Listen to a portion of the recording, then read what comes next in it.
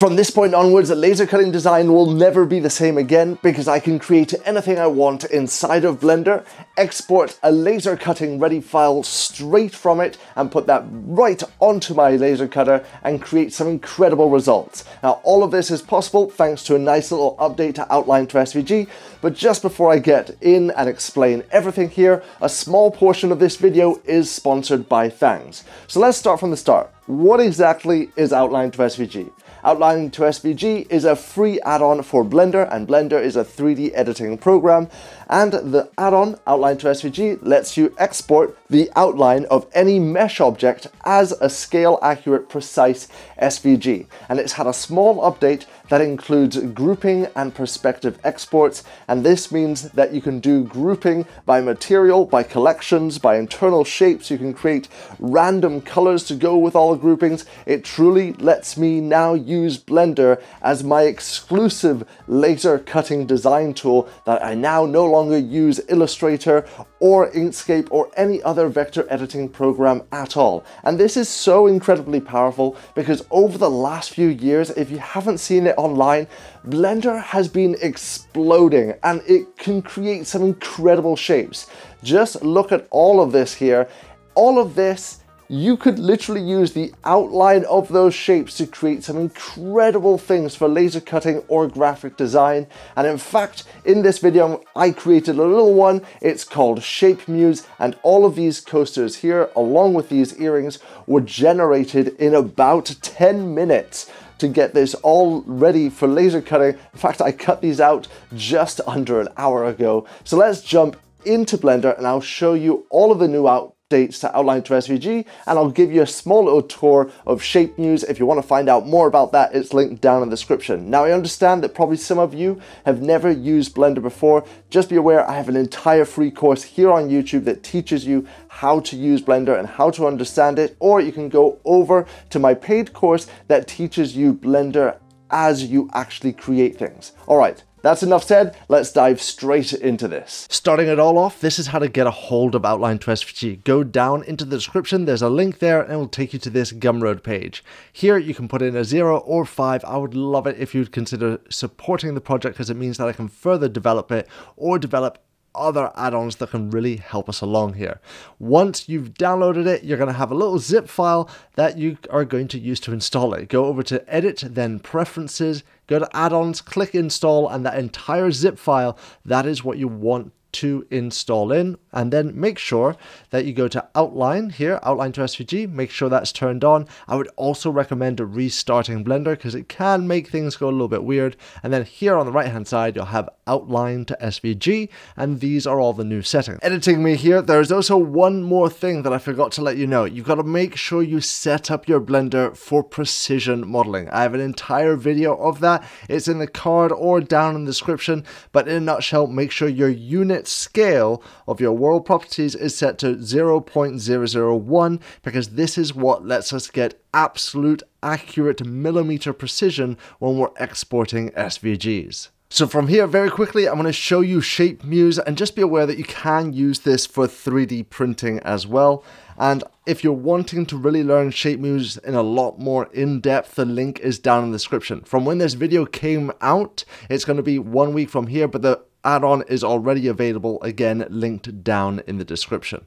So let's jump straight into that. Once you have Shape Muse installed, you're just going to go over to the Shape Muse tab, make sure you have a mesh object selected. We're going to click Add Shape Muse. I'm going to press 7 on my numpad to go up to the top. We're just going to create something very quickly, just maybe one single coaster here, just to show you what can go on here. I'm going to go over to the Modifiers tab, because here are all the settings for it. And just so that it's nice and visible for you, I'm going to go all the way down and turn on the mesh. So there you go. Now you can see that it's quickly meshed it all up. So here we have one Voronoi pattern there. Let's say I don't like that pattern. I can go to the Voronoi seed and I can change that up. Maybe I want this to be a denser Voronoi, but then I've got to go over here to the exclusion size and make that lower so I can make it even more Voronoi And then let's carry on. Let's maybe change the resolution here. Let's whack that all the way down. So if you want it to be in this way, or you can just turn on sharp in this direction as well. And if you're wanting more of an edge on the outside, you can just go over to, where is it? Here, the shape properties, and there's an offset scale, or if I undo that in the Voronoi properties as well, there is a scale option to take it in. Just be aware that then affects the actual um, here it is, the size exclusion. You're going to have to turn that back up. And then there's so many settings in here. So that's just the Voronoi styling. There's also another style, which is the shape generation pattern style. So we're going to change that over here. We have that already set. I'm not going to go into too much more detail. Just know that down here is the honeycomb style. We can change all of this, change the generation, change the probability of all of that. And there's six other shapes. So right here, we can just click through all the other shapes to put them in. And number six, right here you can put in your own custom curve and that is how I've created some of my own coasters using the MakerTales logo. So speaking of which, let's head over to that file where I've already created a whole bunch of things. And here we are in the file that I've prepared earlier. As you see, I have a whole bunch of coasters here, as well as a whole bunch of jewelry that you've seen. And there's also this extra little shape here that was created with Shape Muse as well. Just wanted to show you all the things that are possible. So let's get into all of the new updates of Outline to SVG. The first easiest one to show you is just I can go into any view right here. I'm going to pick a save location and then once I've named what I'm going to call the file and the location that it's going to go to, I'm just going to select everything I want to export. Now, this is pretty important. So right here, these are bool objects. So they're cutting away objects. Again, if you're wanting to learn all of this and how I've created these, it's going to be linked down in the description. But we need to select everything we want to export. Now here, this is just a guide for my laser cutter, so I'm just going to hide that. I don't actually need the cutting object, so I'm just going to press H to hide all of those. And then if I select all of these, this is going to work just fine. I'm just going to make sure that I have an active object there, so I shift clicked on one to turn that into an active object by having that one yellow. Then I'll hit export SVG, and this here is the type of result we're going to get. As you see, we now have perspective export. Okay, now let's talk about grouping, because that just came out as one gigantic SVG, and that's not exactly what we're wanting here. We're wanting to be able to create a laser ready files. So I'm going to take it from the top down. So I'll press 7 on my numpad. I have a camera here at the moment. Remember that if you have a camera in the scene, it is going to export through that camera when you're looking through that camera. So this here is currently set up as my laser cutting bed template. But for now, I'm going to now just click this and delete it away. I don't want to have to worry about it. So I'm going to press 7, go from the top down, and let's create some groups. The first and simplest type of grouping is collections. So I'm just going to select all of these three here. I'm going to press M to create a new collection. I'm going to create this new collection. I'm going to call this collection Hex. I'll click OK, and you'll see here underneath my head, boop, we now have Hex, and it's got, well, it's got those hex shapes. We're going to do the same for the maker MakerTales ones, so press M, hit new collection. I'm going to call this MT, and then we've got another one for these three here. I'm going to hit M, new collection. I'm going to call this Vor, and then I'm going to do one more for all of this jewelry here. I'll select all of those. Um, make sure one of those there and press M and there and I'm going to call this jewelry and now that I have all of that set, I'm not changing anything else apart from collection. So I'm going to change the name here over to collection. And now that I have that, I'm going to select all of these here, again, making sure that I have an active object in that selection. I'm going to export that SVG, and then let's take a look at what exactly has come out here, because we need to move things around so you can see the grouping styles. So here we are inside of Illustrator, and you might be going, hold on, this is all black. Exactly, it is all black, but they're grouped here. So you can do just single color grouping here.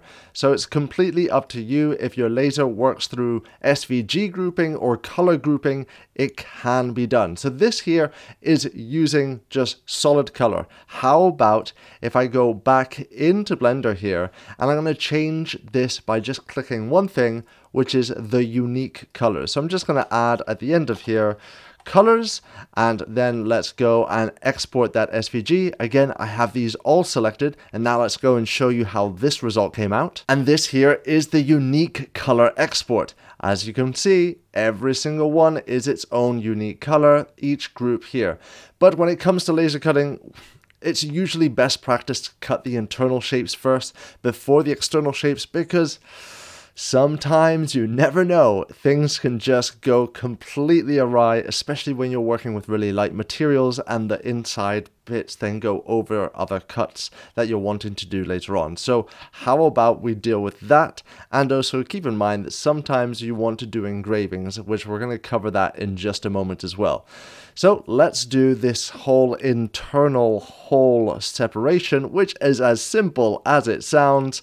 You just turn on holes as a group. There is an exception here, that's part of the engraving, and we'll get to that in just a moment. But I'm just going to add now colors and holes to this. We'll do that export once again, and let me show you how it's come out just a little bit differently, but how those unique colors are still in play here. And here we have it. This time round, you'll see that it's quite hard to make it out. It's because it tries to pick the same colors-ish of the internal holes of the actual out external outline as well. So everything has been grouped out perfectly. This is now all ready to go.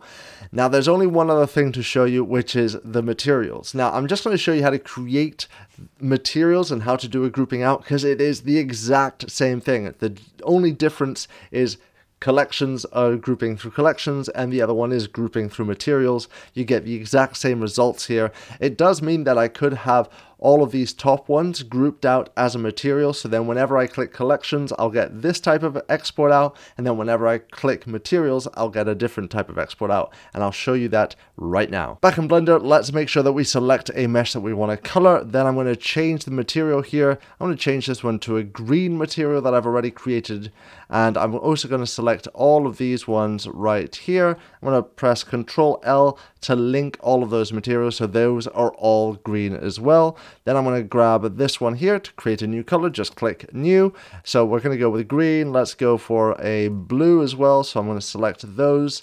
And that one last, control L, then we're going to link those material, and then so we've got green, blue, let's go for a yellow, no, let's go for a pink, there we go, we'll go for a pink somewhere around there, grab this, grab all of these, and select this one as well, then we're going to press Control L once again and do that link color. So we're going to take a look from here at the top down, make sure 7, select all of these, and the only thing we're going to be doing differently is changing this from collections over to material. I'm going to export that out, and let me just make sure that this one here says material. So material and then we'll export that out and this here are the results. Very similar to the collections, but have you noticed something? It tries to match the color of the material that you put in. So if you are actually doing graphic designs, it'll hopefully help just a little bit because then at least it gets you in the same color palette to go and then do the work from there. Okay, now that we've covered grouping really well here, let's go and cover that exception for holes because obviously if you have for instance the letter or the word hello there's an o in there. If you did the internal hole grouping then that o is cut out separately. And what happens if you wanted that to be an engraving you need that to all be in one svg group Here's how we deal with that. Now I have created a new Blender file here because I want to show you today's sponsor, which is Thangs. They actually have an add-on for Blender as well. And I got in contact with them because I really thought that they worked so well with Outline to SVG because they have this free add-on called Thangs Model Search. If you don't know what Thangs is, Thangs is basically, think of it as Google, but for 3D objects. It's crazy. So I'm just going to put in 3D Benchy. This is going to go and search their basically entire archive of all the 3D models that they have. There it is, 3D Benchy. If you don't know it, it's a little benchmark that is used for 3D printing. I want to import that in, so I'm going to click Import Model. It's opened up a window over on my other screen showing me the licensing, and here we have this in. Now I can use this for outline to SVG. Let's say I want to turn this into some sort of keyring. In fact, that's exactly what I want to do. So I'm going to first grab this, I'll press R, and then I'll press X to rotate it on the X. I'm going to go 90 degrees in the other direction and hit enter. I'm going to press 7 to take a look up from the top, and we need to put some text in here if we're going to be doing an engraving. So I'm going to shift right click to move the 3D cursor over here. I'm going to press shift then A go over to text, and here's the text. I'm going to press S, scale this up. I'll press Control A and apply that scale because you should always have scale here set to 1. I'll press the tab button to go into editing and now I'll just type in 3D Benchy Brilliant. I'm now just going to press S and scale that down. By the way, I just pressed tab to get back out of edit mode. And I'm just going to place this where I want it. So right about there, that is looking good. Now, there is one thing. If I move back out around, let me press G, then Z, and I'll pull that up so that it's above the benchy. And if I'm wanting this to be a keyring, this hole is going to need to be a little bigger, so I'm just going to right click, shift right click over there, my 3D cursor. I'm going to quickly bring in a cylinder. Let me change this here to be two millimeters. Let's also change the depth so that something nice and big like that. From here, I'm going to move this to there. And now if you don't have the add-on, it's called Bool Tool that's letting me do this. Again, just go to Edit Preferences, search Bool Tool and turn it on. I'm selecting the cylinder, selecting the ship, and then I'm pressing Control numpad minus to cut away. You can also do that by a button here on edit. You'll have bool tool difference and then that's how that's done. But this is now ready to go. I want to now get this exported, and ready for laser cutting. Now this is how it's done. We're wanting the benchy, especially the E and the D, we want those holes to be part of the benchy. If not, it's not going to engrave properly. How do we exclude that? We're going to go over here. I'm going to go unique colors. We're going to go for holes as group. And the exception here, well, what is it that we're wanting to accept? be part of that exception, it is the text. And the text, if you look up here, it is the name text. So I'm just going to put in text. There we have it. And now with that text there, if you're wanting, by the way, to put an exception to more than one thing, put a comma, add the next name and the next name and so forth.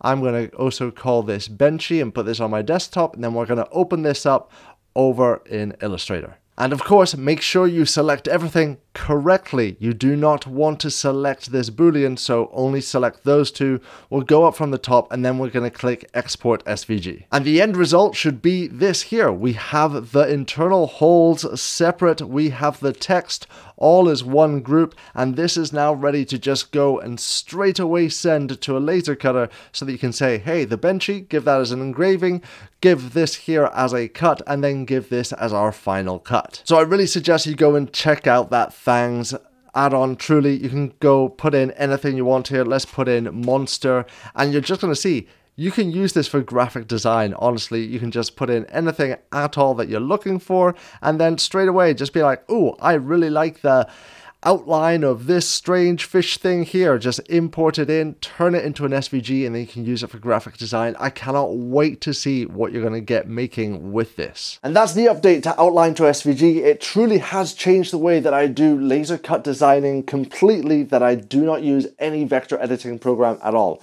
By the way, if you're looking to get a hold of these coasters and all of the earrings as well, there is an entire free pack down in the description. Feel free to get it there. You can do whatever it is that you want with it. Just be aware it's not going to have that proceduralistic coolness that you get with ShapeMuse. It's just the mesh, so you can go and play around with it with Outline to SVG so you can see how exactly it works. A big thank you to my patrons as well. Truly, without you guys, I would not be able to create Maker Tales, and it's thanks to you guys that I was even able to make Outline to SVG right, right at the beginning when I started Maker Tales. Truly, it means the world to me. And if you're enjoying what I'm making here and you think I'm worthy of your support, I would love to see you there too. I cannot wait to see what you're all going to make. Thank you for watching, keep making, and let the quest continue.